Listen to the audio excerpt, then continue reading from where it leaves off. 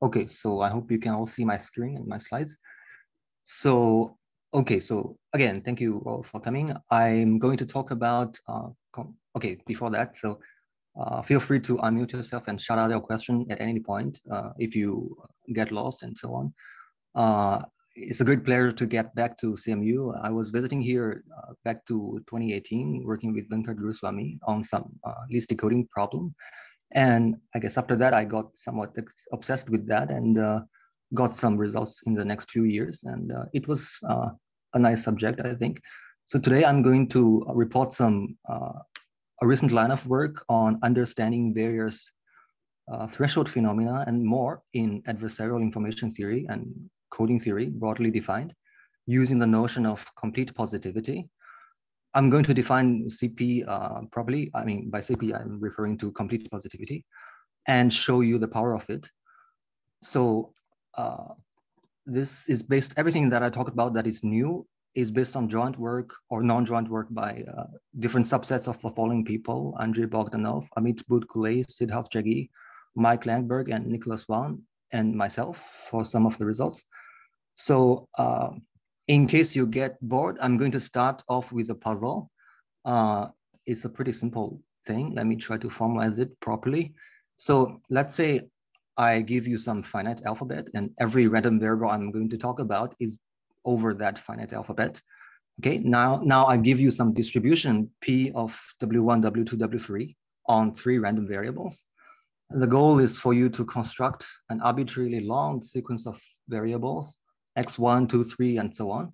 So that if you take out any three variables, i less than j less than k, the marginal xi, xj, xk is equal to the distribution I gave you, p, w1, w2, w3. And the question is that, can you do this? When can you do this? So because this is a question, it's clear that it's not always doable. It depends on what kind of distribution p, w1, w2, w3 I gave you. And the goal is to classify the distributions for what family of distributions is it possible? Otherwise, is it pos is impossible? I'm going to give you the answer right away. Uh, so the answer is that this is uh, if and only if this distribution is completely positive, CP. What does that mean? That means this triple W1, 2, 3 can be written as a mixture of product distributions like product uh, variables. Namely, it can be decomposed as a convex combination of uh, like pi tensor 3, the outer product of pi with itself three times. And these lambda i's are just non-negative and sum up to one, right? This is some special family of distributions. And I call this family of distributions CP, okay? Now I give you the answer, but uh, this is on the face of it a purely probability theoretic statement, but our proof, which you will see later in the talk, is actually combinatorial. It sounds weird uh, at the first class. And we don't know a purely probability theoretic proof of this simple statement, similarly simple, simple statement. And if you can do that, that would be nice. Secondly, uh, I said that the alphabet of all random variables are over the same alphabet, which is finite and we don't know how to do it for, say, continuous random variables. And I think if you can do that, first of all, I do think uh, something like this is also true for continuous random variables. Uh, of course, we have to define CP properly. And if you can do that, I think it should have some consequences in combinatorics, which I'm not going to touch upon in this talk, but I believe that's interesting and kind of important. Uh, okay, let me jump right into the topic of this, real topic of this talk. The motivation for us to study this weird stuff comes from uh, list decoding. Uh, some of you might heard of this. So what is list decoding in the classical setting? I'm first going to introduce this in the classical coding theory uh, notion, under the classical coding theory notion. Uh, there are various versions of the definition. I'm going to present the more information theoretic version, which turns out to be more favorable for us to, uh, if we want to generalize things later on. So uh, here it's the background of this problem is communication. Like uh, there are two parties, Alice, Alice and Bob. They want to, I mean, Alice wants to communicate some message to Bob like one way, some message m, which takes value in some finite uh, set of size 2 to the nr. This parameterization, I'm emphasizing the exponent r. Uh, that's the, you know, the normalized size of the set of messages, which is the most important quantity I care about. This is something called the rate of the communication or the rate of the code uh, that I want to maximize.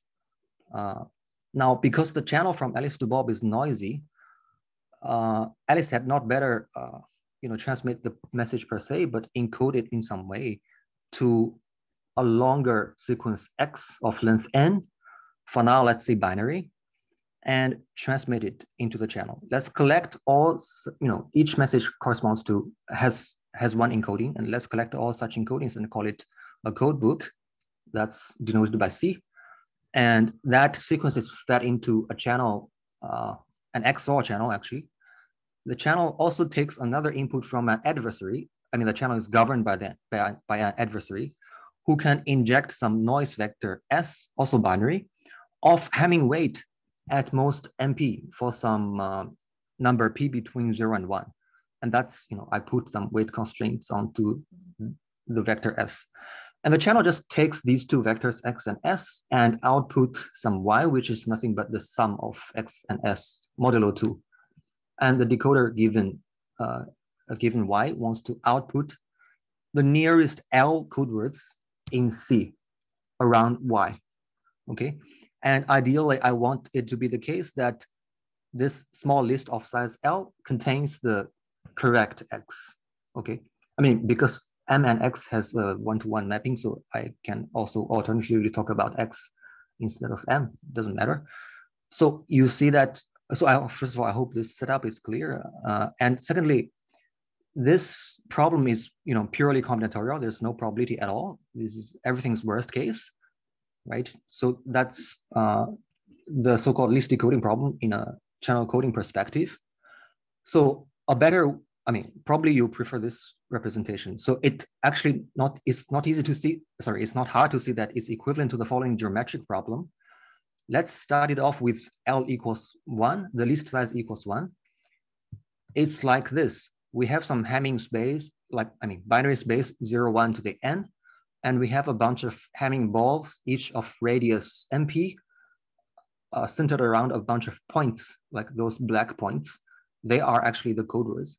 For this, I mean, for this configuration to be good, I want those balls to be disjoint, right? And this configuration is called a sphere packing in Hamming space, or you know, a good code, uh, a good uniquely decodable code. Now, given this kind of problem, I said that the goal is to maximize the rate or the, you know, the density of the packing.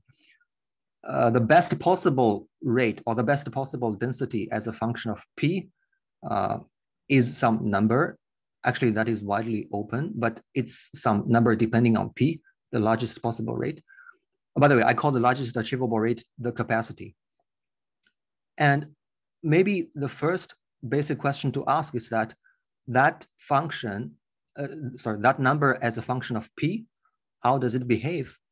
Uh, firstly, it certainly uh, decreases as p increase because if the radius of the ball uh, gets larger and larger, it's harder and harder to pack more and more balls. Uh, so then we can ask, what's the largest possible p so that the density is positive?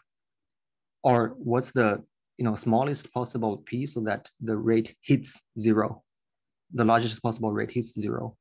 I'm going to keep calling that point, special point P star, the threshold or the Plotkin point for some reason. And I mean, uh, I care about the capacity, but here I'm asking for the zeroth order characterization of the capacity in some sense. I'm just asking when is it positive? I'm not even care about for now, what's the actual value of the capacity? So the answer turns out to be one fourth uh, you know, which is the radius of the ball. And this is actually a characterization in the sense that if you if the ball's radius is slightly below one fourth, you can put in exponentially many points. Exponential meaning two to the n times some constant. Otherwise, if p is slightly larger than one fourth, let's say uh, one fourth plus epsilon, it turns out that you can only pack sub-exponentially many points. In fact, you can only pack finitely many points. Finite meaning that O of one independent of the dimension n. So this is a sharp transition in terms of you know the number of points you can pack. Now, this is so far for unique decoding or uh, you know one list decoding. The list size is one. We can increase the list size a little bit. Geometrically, what does it mean? It means that I allow overlap now, but not too much, in the sense that for any point in the space, let's say here, it must lies in the intersection of at most two balls. And this is true for any point in the Hamming space. So if this is the case, then I call such a configuration a two packing or two list decodable code. Now, again, for now, I only care about the threshold. Let's ask again, what's the threshold P so that you can achieve positive rate? This turns out to be, again, one false, and it's also tight. So let's increase the list size further. You know, this kind of question makes sense for any L, finite L. So for three packing, it's it turns out to jump to some strange number five over 16. For four, it remains. For five, it jumps again to some strange number 11 over 32. And for six, it stays again. So you may already see the pattern. It seems to jump every two times. In fact, there's a formula for it. I'm going to give you uh, give it to you later. But before that, let's uh, first uh, understand what it means. What does it mean for it to be non-list decodable, right? Let's let's look at two list decodable code. Uh, this I claim is a bad code for two list decoding because I can find three balls so that you can sticking one point here, which lies in the intersection of three balls that's a bad thing because if you draw a ball of radius MP around that point, that center, this ball captures three code words and three is larger than two. So it's not two list decodable. Geometrically, I think it's, I hope it's clear. Okay, so uh, now what does it mean? I mean, what does it mean uh, channel coding wise? It means back to the channel uh, channel model. It means that we can find three code words and three noise vectors, S1, S2, S3, each of uh, length, I mean, each of Hamming weight at most MP, so that the sum of x1, s1, and the sum of x2, s2, sum of x3, x, s3, modulo 2, are all equal to some vector y. And this y is just the center, the pink center I drew in the previous slide. Okay, so far it seems nothing but triviality, but this kind of perspective I claim that it's uh, helpful if we look at things from this perspective and it, uh, if we want to generalize, generalize things. Okay, now back to the threshold problem. Uh, this is the formula. I claim that there okay, you can achieve positive rate for uh, PL minus one list decoding or PL minus one packing if P is less than this threshold. And you see this is the same for L, B, and 2K and 2K plus one. So it, it does jump to every two, every two times. And further, if you increase L, this number is going from one fourth to a half, uh, right? This was first discovered by Blinovsky in 1986 and later was rediscovered by Polyanskiy in, 19, uh, in 2016 and re-rediscovered by Noga Boris Bukh, and Yury Polyanskiy in 2018. Uh, so this seems to be pretty well known. Now, even slightly more general than this, let's say, let's consider the following uh, twisted question.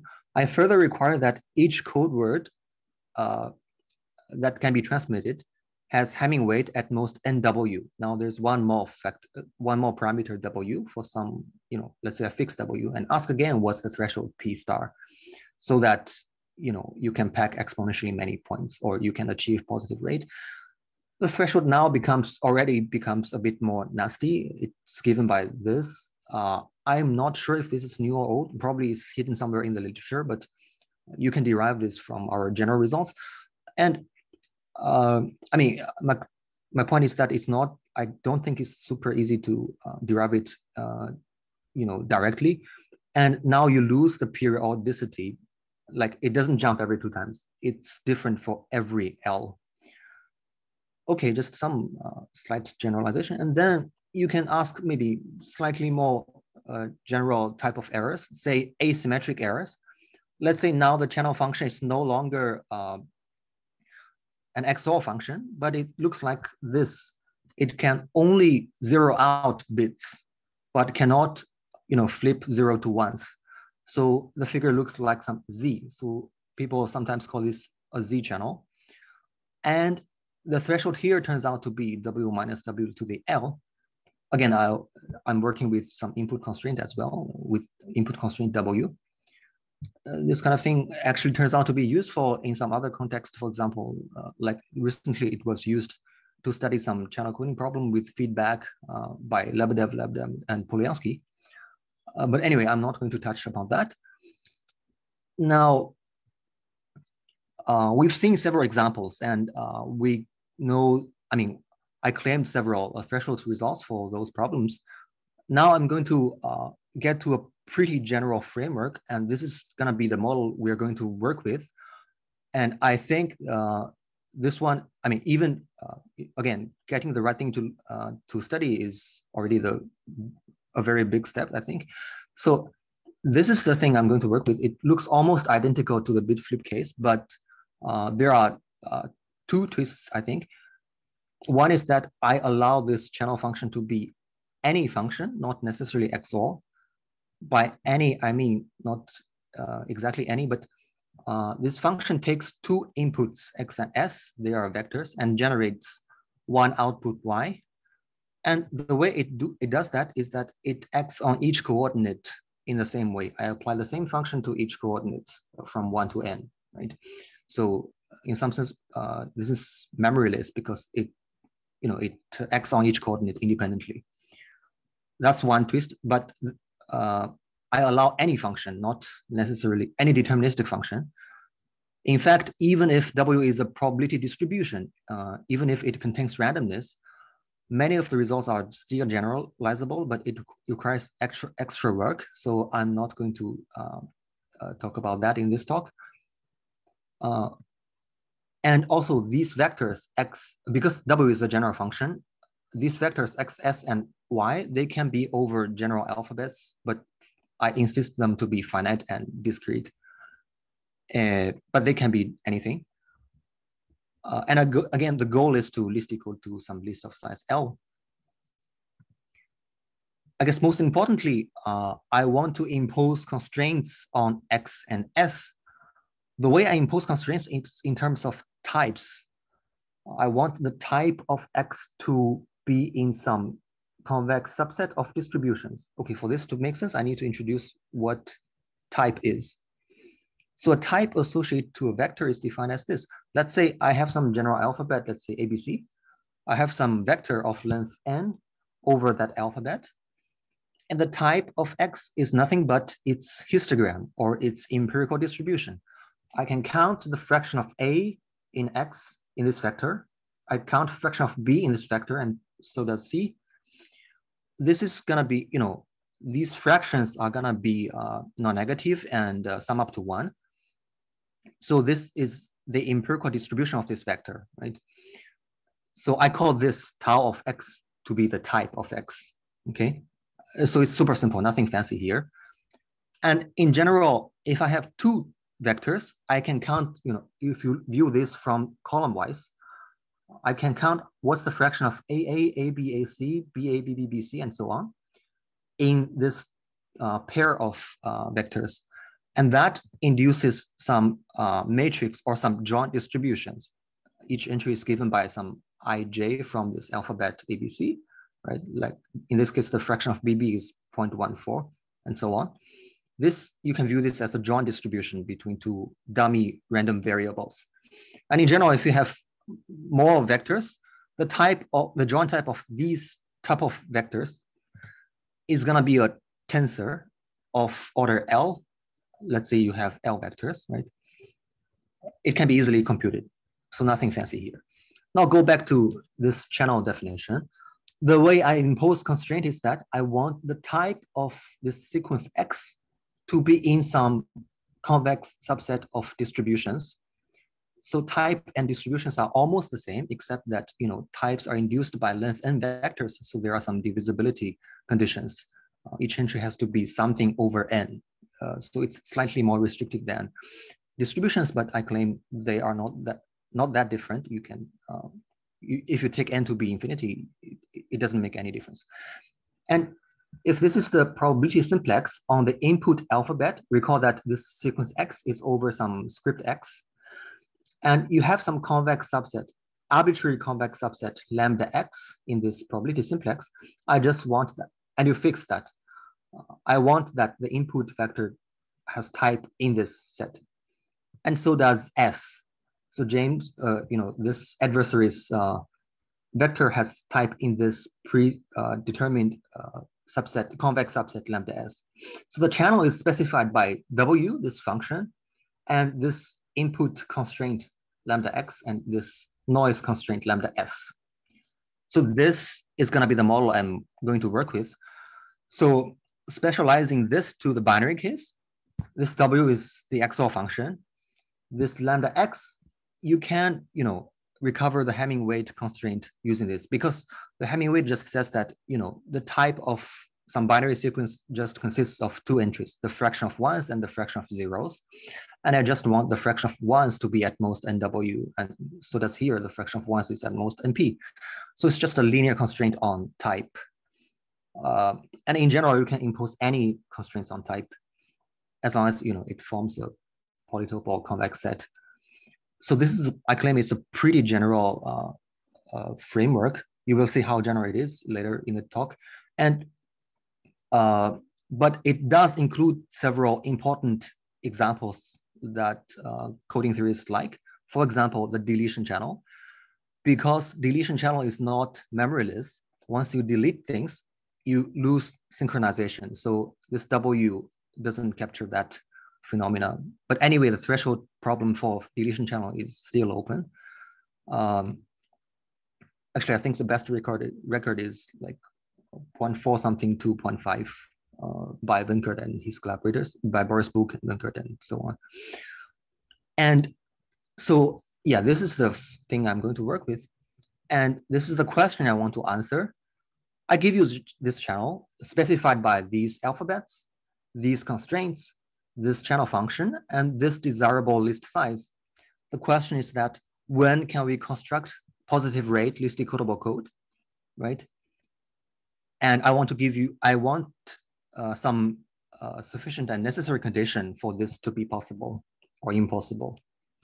So, and geometrically, it corresponds to some weird packing problem. You pack some general shapes defined induced by the channel. You can actually compute that in some product space x to the n. Actually, this x to the n does not even come with a metric. It doesn't, I, did, I don't require that. And in fact, uh, those shapes can even vary across points. You know, around each code word, this shape may not even be the same. But um, in the binary case, they are the same and they are all Hamming balls. But in general, they are not necessarily the same. And yeah, this is a geometric interpretation of the same problem. So let me pause here to see if there is any question regarding the model and uh, the question I want to study. Uh, if you don't get it, you will get very bored in the second half of the talk.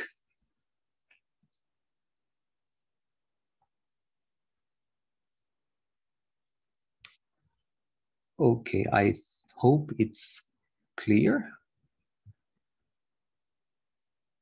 I'm going to continue. Okay, so uh, I mean, by the way, so feel free to again unmute yourself and shout out your question. I uh, I can address it if I I will address it if I can. So the uh, theorem statement is that this is the answer to the uh, question I just posed. It looks a little bit complicated. Let me pass this uh, properly. It says that uh, the task I uh, posed is impossible if and only if the following equation holds. This is a set inclusion equation. So it says that for every feasible input distribution, recall that you know the channel comes with some feasible input uh, set of distributions. For every distribution in that set, this equation holds. What does this mean? On both sides of this equation are two sets of distri distributions on L random variables. So this and this are all sets of distributions of the form P of X1, X2, and uh, 2XL, okay? On the right-hand side is the set of bad distributions induced by the channel, by the channel. If I give you the channel, you can compute this set, in fact, efficiently. And that's uh, some characteristic associated to the channel. These are the bad distributions. On the left-hand side, these are good distributions. For now, it's not clear why I call CP good, but I will tell you why. And it does not have to do with the channel. It's just some, uh, some set of distribution well-defined out there. And I claim they are good. So this theorem statement morally says that this I, ca I cannot achieve any positive rate if and only if every good distribution is bad for the channel. Now I'm going to uh, specify what I mean by good and bad. So I call this K the confusability set. Uh, is again the set of distributions. Let me first explain this uh, operationally. Go back to the two list decoding uh, problem. Like uh, let's use that as a running example through this talk.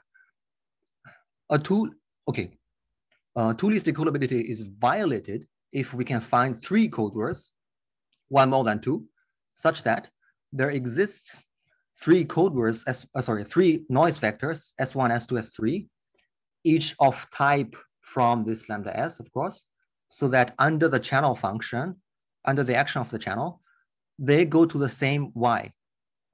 You should think of this as like in the binary case, the center of the, the pink center of the ball.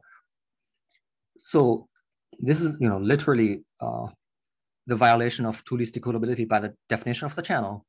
Now I collect all types of x1, x2, x3, which satisfy this kind of relation. And the type of x1, x2, x3 is you know, a bunch of distributions. I collect all of them, and I call that the set of bad distributions. So why can I do that? Why can't I work with types rather than the vectors themselves? Because the, fun the channel function acts on each coordinate independently. So it doesn't matter if I permute everything by the same permutation. What's good remains good and what's bad remains bad, right? So if I permute everything uh, using the same permutation coordinate-wise, so non-least non-list decodability remains non-list decodability and vice versa. So I can, in general, work with distributions or types instead of uh, vectors. Notice that distributions or types are uh, dimension free. It does not depend on n uh, morally. Now, uh, mathematically, it okay. This is a horrible uh, equation, but I'm just describing that relation using equations. So uh, I collect all distributions satisfying. Let's look at the third uh, condition. This is the most important one. If I can find a joint distribution p x1 to xl, s1 to sl, and y, these are dummy random variables corresponding to the code word. These are dummy random variables corresponding to the noise. This is the dummy random variable corresponding to uh, the y, like the center in some sense. By the way, I'm using the weird notation like uh, this boldface corresponding to random variables rather than vectors. And I use underline to denote uh, vectors, maybe somewhat unconventional. This is bad if it can be decomposed in this way. It can be decomposed by into this form. This times the channel function, times the channel law. Uh, and this should be true for every i. It's like um, w of xi si is equal to y for every i. And I'm describing that using distributions. And for some tech, so that's the most important condition. And uh, uh yeah, and for some technical technical reason, I assume that uh, each code word in the code has the same type. Like in the binary case, it, it says that I want to work with uh, a code whose in which all code words have the same uh, Hamming weight. It doesn't matter because there are only n plus one uh, Hamming weights, uh, n plus one possible Hamming weights, but the code size is exponential. So I can, you know, in general, work with a constant weight codes or constant type codes. So it's just small, just some small technicality. I use this bracket 2xi denote uh, marginalization onto some random variable. And also, of course, I want each SI to be feasible, namely the type is in lambda S. And okay, I collect those uh, such big distributions and marginalize it to X1 to XL. And I call this the bad set. Uh, so this is, again, literally, it, I collect all uh, the types of all bad tuples. That's a bad set. It depends on W, clearly. Now, on the left-hand side, as I have alluded to at the beginning of the talk, um, this is the set of CP distributions. But let me tell you why CP is good for this problem. So let's say this is the ambient space, and this is the set of um, bad distributions in K. Okay, some you can show that it's actually convex. Let's say you can find some, this is K here, given some channel, I can compute it. Let's say you can find some product distribution, P tensor L, outside K, then I claim you can construct a large code of positive rate, which is list decodable. Why is that? This is pretty simple because you construct some large code. This is a matrix, you know, each row is a code word and you have m code word, code words and each of length n. You sample each entry of this matrix IID from PX, okay? Now, what happens is that if you take any L tuple, let's say you, you take any triple from this code word, any three uh, rows from this matrix, their joint type is very tightly concentrated around P tensor three. I hope it's clear because, you know, just by concentration, there are some deviations, but never mind that. Namely, all those joint type, uh, joint types of triples of code words are concentrated around this P tensor 3. In particular, they are all outside K.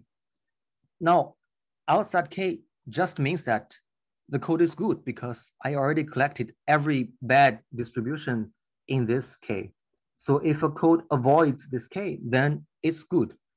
So I'm so we have already shown some seemingly trivial statement saying that if we can find a product distribution outside K, then we can achieve positive rate.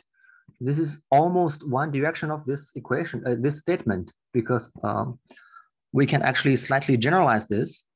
If we cannot find a find an exactly product distribution outside K, but we can find a distribution which is a convex combination of product distributions, we can achieve the same thing because let's say, okay, the equation is a bit slow, but uh, is, a, is a bit small, but let me uh, explain this using this figure. So again, we want to construct a large code, uh, a large code book. Let's say I sample, let's say we have a distribution, say one third times P1 tensor three plus one third times P2 tensor three times one third times uh, P3 tensor three. This is a convex combination of product distribution. I sample each coordinate here from P1 IID and each coordinate here from P2 IID, and each coordinate here from P3 IID. Now, what will happen if we take, again, a triple of code words, uh, I mean, a triple of rows from this matrix and look at their uh, joint type, it's gonna be pretty tightly concentrated around, you know, the convex combination of these distributions, which is exactly this, this uh, black dot. It represents a distribution. So all types are around in this ball, in this ball over distributions. In particular, they are outside K. So again, it's a good code. So we have actually already showed that, uh, show, I guess, this direction. So if this is not true, if CP is not completely contained in K, then we can achieve positive rate. Geometrically, it looks like this. Uh, by the way, let me form, formally define CP here. Uh, it's just you know the set of distribution that can be written as convex combination of product distributions. Okay. Now the figure looks like this in one direction. Given a channel, again, we compute K, it's something associated to the channel, and CP is always there, some, uh, some set.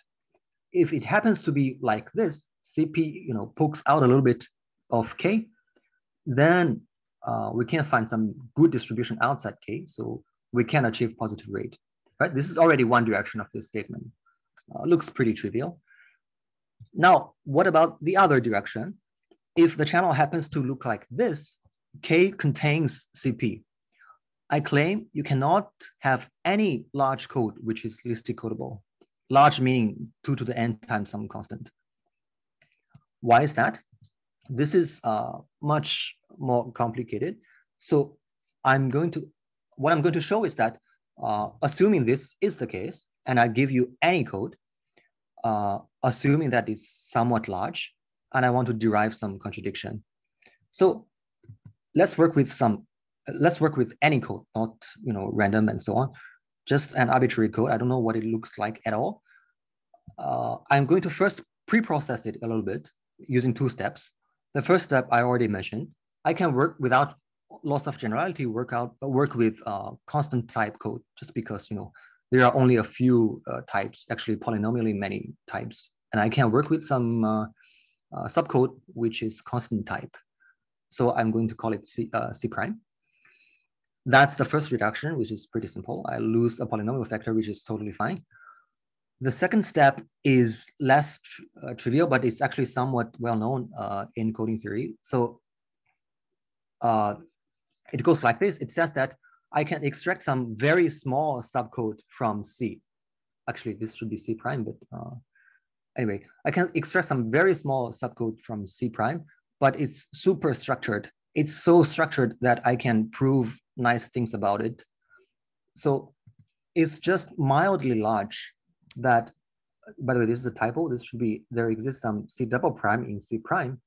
So that first of all, it's very mildly large. For example, if the code C prime has size 2 to the n point 1, for example, maybe this C double prime only has size log, log, log n, something like that. It's only guaranteed that it's increasing in n or in the size of the original code. So mildly large, but it's very structured in the sense that there is a universal uh, distribution px1, x2, x3, so that if you take any triple from that subcode, the type of xi1, xi2, xi3 is pretty much p of x1, x2, x3 uh, up to some epsilon. So this is very special. And why is that? Because, you know, again, this is the figure, uh, K contains CP, and I give you a good code, namely, you know, all types are outside K. These dots, this black, sorry, these blue dots are uh, types of triples from the code. Uh, so I can so yeah, this is the code. And I can construct the graph uh, on top of the code and apply hypergraph Ramsey reduction to get this theorem. Let me just quickly flesh out it. Uh, I can uh, draw a graph on top of, let's say, five vertices. These are code words in C prime. And I connect every triple of vertices. So it's a complete three uniform hypergraph. Uh, I collect, uh, it's three uniform because I only care about triples. Now I color each edge using distributions. If the type of a triple is close to some distribution, I color that type, I color that triple using that distribution. So I'm thinking of distribution as colors, right? So I have a lot of uh, triples. Uh, so each triple is colored by a distribution and it's a uniform and, and it's a complete hypergraph.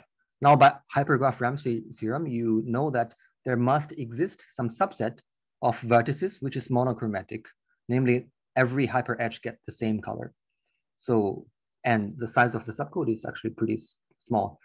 Getting the same color just means that uh, every triple has roughly the same distribution because you know distribution is viewed as a color.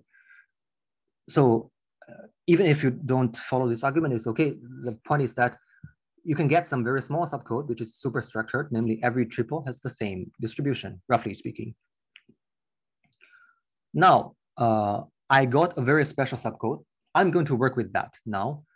Uh, before doing the actual math, because we saw CP distributions, let's uh, look at CP and uh, let me let me introduce some facts about CP. Okay, so CP is actually a set of distribution which actually forms a cone.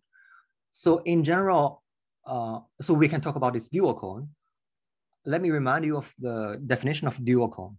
So actually for any set, not necessarily a cone, we can define its dual. So for any set A, we can define its dual to be the set of vectors so that if you take the inner product here uh, between, uh, between this vector here and a vector inside A, the angles spanned by these two vectors should be acute. So that's the definition of the, and you collect all such vectors Y. Uh, and it looks like this, this green thing is the dual of A, I call it A star. So in general, uh, sorry, if A itself is a cone, like in our case, it's CP, we can you know compute its dual cone. In fact, uh, you can compute that ex explicitly, and we call that co-P. I mean, not we call people call it co-P, copositive cone. It's defined to be the set of distributions so that for every entry-wise non-negative vectors, the inner product between Q and V tensor L is non-negative. So here I'm testing this inner product against entry-wise non-negative vectors. So because it's entry-wise non-negative, so I can normalize it so that it's a distribution, that doesn't matter. So this pretty much reminds us of PSD, right? Because if this V is some just some general vector, this is exactly PSD. You know, the product between this and uh, let's say V tensor V is non-negative. So this is exactly PSD. But now I impose this constraint, which is important, and I call that co-P. This expression essentially follows from the observation that the extremal rays of the CP cone is actually those uh, product distributions. So if you take, keep that in mind, you actually get this expression. Now, what can we, uh, why is this duality useful? Because, you know, we have CP somewhere here and how do we use it and how, and how do we use that to get some upper bound on the sides of the code? So we are given some code of this kind. So we know that C double prime is good, meaning that, you know, again, all types are outside K. Because C double prime is so special, every type is roughly the same as P. So P is also outside K. But K contains CP here. So of course, P is also not, not in CP as well. Now, uh, this fact can be witnessed by some co-P distribution. Uh, this P is not in CP. It can be witnessed by such a Q that such that the inner product between Q and P is strictly negative by definition of co-P, right? Because uh, yeah, this is just by definition. So I got something that is tangible to work with, uh, this uh, distribution Q it witnesses the fact that P is not in this good set of distributions. Okay, now I'm going to do the actual math. Uh, to get a bound on C, I'm going to, for whatever reason, uh, compute or bound from below and from above this strange quantity. So I take a triple from, I mean, I take a tuple from this C double prime and I look at its uh, type, it's some distribution, and I take the inner product with it. Uh, I take its inner product with Q. It's the same Q, you know, the co-P I mentioned in the previous slide. And I sum over all such tuple. In fact, I even sum over those repeated tuple, namely xi, xj can be the same, but it doesn't matter, it turns out. I'm going to bound this quantity for whatever reason. Upper bound comes from you can actually bound each term independently, uh, separately, I mean. So each term can be written as this. I can stick in this P because I know, you know, each tuple is concentrated around P. So it's tempting to stick in some P. Now, the first term is pretty small just because, you know, the difference between these two things is very small. This is something that I, I can control. I can, you know, uh, make the quantization fine enough so that this term is actually arbitrarily small, some very small constant epsilon. However, the second term is significantly negative. You know, it's it's uh, induced by the geometry, like K contains CP. So this term is very negative, so that um, when the code C is large enough, this term is actually strictly negative. Each term is strictly negative. Well, but there's a slight caveat because this only works for distinct uh, tuple x1 to xl. But in fact, for non-distinct tuple, they only contribute to lower order term of this summation. So we are actually fine. So let's ignore that technicality. On the other hand, uh, what about lower bound? Now there's no, I guess there's no intuition here. You just compute this. This is a summation. This is inner product. You expand it, it's also summation. Interchange these two summation, and you get exactly this, some something uh, that looks a little bit complicated. What is PJ? PJ is, you know, we have a code, uh, uh, it's a matrix, and I view each column, uh, the jth column will induce some empirical distribution, right? That thing, I call it PJ. Recall that each row has the same distribution because assume it's a constant type code, but each column may induce some, some distribution. I call that PJ. And this expression is equal to this, this inner product between Q and this. But what is this? This is by definition, you know, a convex combination of product distribution, which is CP, which is negative, uh, sorry, which is non-negative by definition of duality. So we get a contradiction provided that uh, the code size is mildly large. It turns out if you work out the math, it just has to be uh, larger than some constant depending on epsilon uh, eta to fight against the, the lower order term that I omitted here. Then you already get a contradiction. Now you roll back, you roll back the uh, reduction, two-step reduction, you get that the original size, the code size has to be uh, at most poly n, which comes from the constant type reduction, times Ramsey function of this constant. So this thing is a constant only depending on epsilon and eta doesn't depend on n. Uh, this Ramsey number is huge. It's like two to the two to the two to something, uh, which is like a tower function of height L or something like that. But since the argument is constant, so we apply this thing, it's still a constant. So we are still fine. So we show that the size of the code has to be small, like definitely exponent, sub-exponential. So, so even why is the left hand's lower bound non-negative? So the Q's can have negative entries, right? So just maybe I just missed that part. Yeah, you're right. Uh, but Q comes from co-P, right? Q is a co-positive distribution. Okay.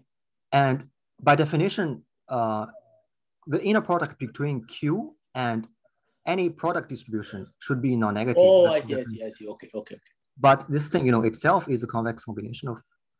So somehow we do the computation we get some CP distribution. Okay, sure, and, sure. Yeah. So the, whereas yeah. px1 to xl is outside co-P, so that's minus eta. Okay, got it. Okay. Yeah, exactly. So okay, it seems that we are pulling out of thin air some strange bound on C, but anyway, we we we did this and uh, and we are done. But some caveat I've hidden is that this argument only works if the distribution p, you know, here, px1 to xl that we extracted from the code is symmetric because uh, symmetric means that uh, it's invariant under permutation over x1 to xl, like px1 to 3 is equal to px1 3 2, something like that. Uh, this is true for any permutation because you know those CP and its duality only make sense in the space in the ambient space of symmetric distributions. Otherwise, it doesn't make sense. Uh, so, what about non-symmetric asymmetric distribution? It turns out that actually, if it's asymmetric, automatically the code size has to be small for some separate reasons. This follows from some uh, theorem by Komlós. Uh, I should say that this theorem is purely probability theoretic. There's no codes at all, no combinatorics at all. The original paper is devoted to some other problem. The proof is using like, is inspired by ergodic theory and there's nothing combinatorial here, but somehow it, you know, takes care of this case. And now I guess we're good. We really show that this code size has to be small if the situation is that K contains CP. Now I'm going to skip this. And uh, if you think about it a little bit, if you take out the channel and just look at CP, the statement reg uh, regarding CP versus K is actually equivalent to this. I mean, not equivalent, but implies this statement that I stated at the beginning of the talk. I'm here stating this uh, using general L. But if you can do this for L equals three, you can do it for general L without too much effort. So so far, any questions regarding the proof or the uh, statement of the results? So what did you mean by this px1 to xl is symmetric? What, what is symmetry of the Symmetric means uh, if you permute those like px1, x2, x3 is uh, invariant under permutation over one, two, three. Oh, the indices. Okay, okay. So like Yeah, all the the, things lying inside a ball or anything. Okay, good, good. Yes, yes. So namely, you know, the probability mass on some vector only depends on the weight, for example, in the binary case. Okay, okay, okay, okay. Uh, okay, any further comments or questions? And I guess this theorem you have here does not assume symmetry or anything. So, Yeah, it doesn't, I mean, you can, so even though I think in your application you only used it for the symmetric case, so no, it's like uh, if we don't know the, ex- the distribution we extracted is symmetric or not, it can be asymmetric actually. If it, Okay. if it is asymmetric, it's automatic, the code has to be automatic right. So then the C double prime itself is small, so you're done. But but this fact that if you can match the L-wise marginals, then you are in Ah. This CP. I guess you kind of using that only for the symmetric case. Yes, yes, right. Okay. Right. Okay, so I hope we are on the same page. Uh, now I'm going to be more hand waving in the second half of like the very last part of the talk. So, so far we've only talked about thresholds, like uh, the zeroth order characterization of the uh, of the channel. Oh, sorry, of the capacity. When is the positive? Positive. When is it uh, negative? Sorry, when is it uh, zero? But what about the actual value of the capacity? Uh, first of all, there's no hope to get the actual value because it's uh, super difficult. Even if uh, even in the binary case, it corresponds to Hamming, uh, sorry, sphere packing Hamming space, which is widely open. We don't know the capacity anywhere except in except in two trivial cases. But we can, you know, generalize existing good bounds. You know, there are many wise bounds in the literature, and they are pretty good. And we can here what we did is that we can generalize them in a very general setting so that if I give you any channel, uh, like no matter uh, whether it's you know the XOR channel, the Z channel, and so on, you there is a mechanical way to derive bounds uh, following you know uh, old but gold uh, ideas. Like lower bounds follow from, for example, random coding with expurgation which is pretty standard. I'm not going to talk about it any, at all. It's just that you sample code words IID and you carefully remove those bad ones. And you analyze that uh, process and you get some lower bound. So I'm going to just skip this. Some upper bound, this might be slightly, this might be more interesting actually. So the idea, first of all, don't read this formula, it's complicated. And the idea is actually very simple. Uh, I'm just going to uh, uh, flesh out the idea using a figure. Let's say we have some uh, code and I want to, I don't know what it looks like. I just want to derive some upper bound on the size of the code, provided that it is list decodable. So the idea by Elias Bassalygo is that this is the space uh, of sequences whose type is uh, equal to px. I said that we can work with this. And we have a bunch of points in this space. And they are guaranteed to be list decodable. And but how many points can we pack? The idea is that we first cover the space using some balls. Actually, it's not ball, but it's some set. But I drew here using balls because it's intuitive. Balls around uh, sequences u over some alphabet script u. For now, you can think of u script u to be the same as script u, but in general, actually, they can be different. And these u's are, you know, auxiliary, um, like covering sequences. I drew balls, I draw balls around this u so that they cover the whole space. I want the following property. If I, you know, take out any uh, tiling, any tile of the uh, of the covering, it's guaranteed that, you know, the center of the tile is u. I want it to be the case that every code word in this uh, ball x, namely those black points, has uh, joint type with u equal to px equal to some distribution p of ux, which is equal to px times some p of u given x. So px is just this px, which is fixed. This p of u given x is associated to the covering, which is some design parameter actually. Each P of u given X defines a covering, okay? This is something I want to tune. I want to tune it in such a way that each ball can only contain finitely many points that is that are list decodable. So I want to adjust this distribution, which defines the covering, so that each ball uh, in the covering only support a finitely many points. But this question was already answered because this is a threshold question, right? I want, so what kind of distribution P of u given X gives rise to, you know, uh, capacity zero code? Like if we restrict ourselves to this subcode, it has capacity zero. We know what condition it should satisfy. And now, uh, by the way, yeah, okay, let me skip that. Now, the size of the whole code is just the number of balls, like the size of the packing, times the number of points in each uh, ball, which is the, the covering number times a constant because you know each tile supports a finitely number of points. Now we see that the rate we can achieve is just the exponent of this covering number. But covering is easier than packing. We actually understand covering completely. We know the fundamental limits. It's actually given by this exponent and it's actually tight. You cannot do better than this. So you see that the objective of this maximing is this thing. And this beautiful idea is like dividing, is decomposing the hard problem of bounding a packing into two simpler problems. One is covering, which we understand.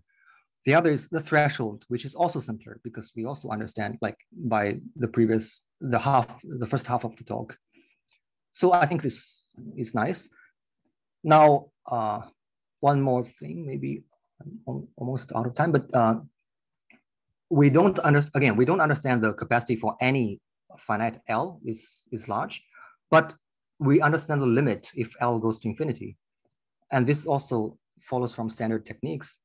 Uh, the meaning of this result is just that if you operate at a rate slightly below this number, you can achieve uh, this C up to delta, provided that the list size is one over delta. It's large, but it's a constant independent of n. On the other hand, if you above, if you're above this threshold, this capacity C, the list size has, has to be exponential in n, so which is truly bad. Let me skip this. Okay, finally, I want to mention some, this, this is actually, I saw this thing when I prepared this talk uh, last week, and I saw this thing in a paper by, uh, okay, let me mention this later. So uh, let's look at list recovery. So in the classical notion of list recovery, it means the following thing. Uh, what does list recovery mean? It means that if we have a q-ary code, its list recovery, uh, you know, there are three parameters, P, small l, and capital L. So this small l is one more parameter. If uh, for every sequence of subsets of Q, each of size small l, we have, you know, one subset of size L for each coordinate. We have n such things the number of bad code words with respect to this sequence of subsets of input symbols is at most L minus one. So it looks pretty much like list decoding, except that uh, those Y1 to Yn, those coordinates of the center, now becomes actually subsets of symbols. Now, what does it mean for a code word to be bad with respect to this sequence of symbols? It means that the fraction of coordinates that hit this the corresponding subset is at most MP. So xi is in bi, the number of such coordinates is at most MP. So if you take each bi to have size one, this corresponds to exactly this decoding because, I mean, in the q-ary case, because uh, those bi's are just y1 to yn. These are just coordinates of the uh, center y. And this quantity is just nothing but the Hamming distance from a code word X to the center Y. And the Hamming distance is too small, it's at most MP. It means that if I draw a ball of radius MP around Y, it captures, you know, less than L minus one points. So I think you want Xi not in BI, but small typo. So yeah, okay. You're right. Actually, yeah, you're right. Otherwise, it's not least uh, it's not weight. Uh, sorry, Hamming distance. Yeah. So you see that it's a generalization of list decoding in the classical notion. But I claim uh, my take is that it's a special case of list decoding because uh, in my language, I can cook up some channel so that if you do list decoding for that channel, it's equivalent to list recovery. Uh, let me use, uh, explain this quickly using an example. Let's say Q is equal to three uh, for it to be non-trivial. Let's say small l is equal to two, and this size is just some, uh, some number, fixed number. I claim that uh, if we look at this channel, carefully uh, designed, the input symbols are one, two, three. The output symbols are subsets of one, two, three of size two. So we have, you know, Q choose L number of output symbols, and I connect them using these uh, errors. And I'm going to charge the adversary by one if he uses an error of this kind. It sends one input symbol to some output subset, which does not contain this input symbol. So I'm going to charge the adversary if he makes such an error, which sends one to two, three, which does not contain one. So there are three such errors, right? Uh, uh, those black ones. I'm only going to charge uh, the adversaries if he uses these errors. I want him to use at most NP number of such errors across N coordinates. And I claim, so I basically give you some, you know, uh, noise constraint. And I claim if you do list decoding over this channel, it's equivalent to list recovery.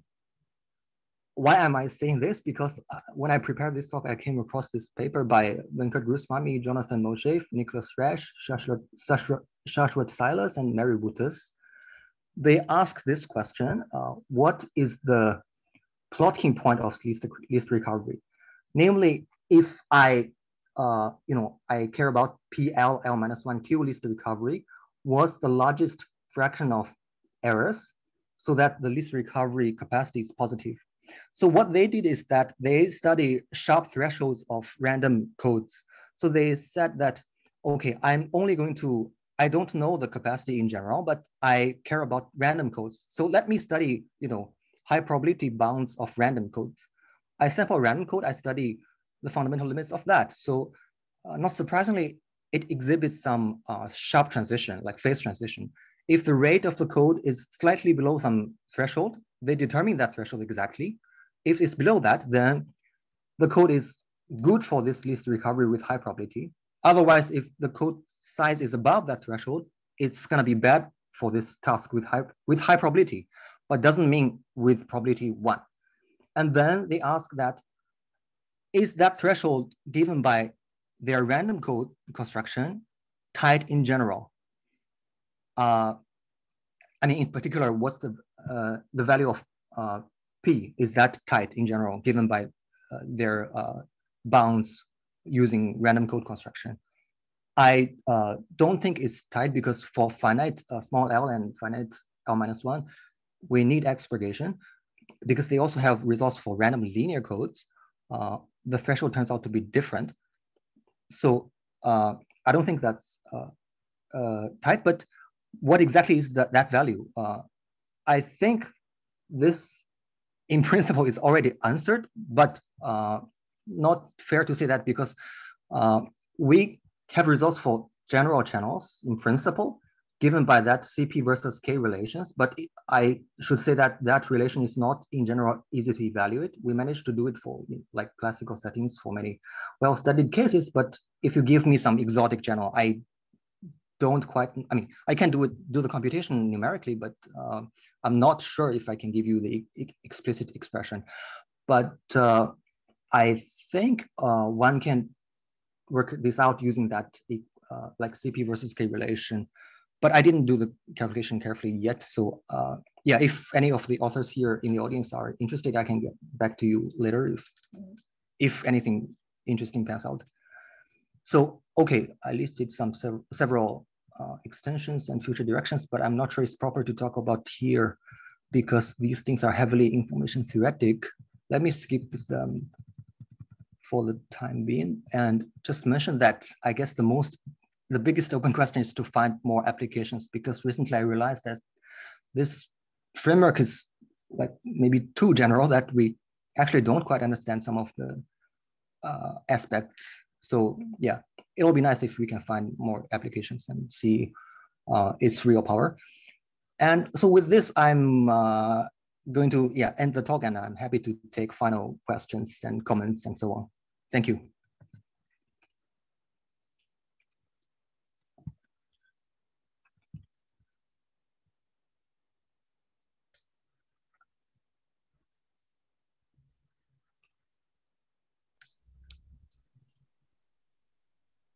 Yeah, I have to run, Yihan, but great talk. Thanks.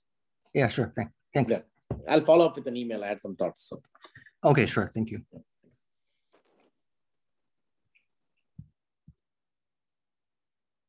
Yeah, any final like questions or comments or whatever? Yeah, this might be somewhat far from like the CS audience because I came from a slightly different community, but uh, but anyway.